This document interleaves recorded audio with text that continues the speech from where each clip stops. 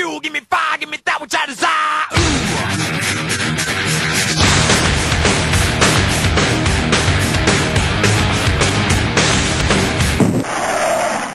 Yeah, it's uh, need to go back to July, run, run the uh, 400 mile race in, in July at Daytona. I got my first win there, so um, it's always a fun race to go back to. Handling's become a big issue the last couple years. Handling's always an issue at Daytona, but that time of the year, the track is slick, it's hot, and it's hard to get a hold of. And uh, handling has definitely been, you know, the biggest issue with Daytona as far as a guy that's been able to run in the top five and win there.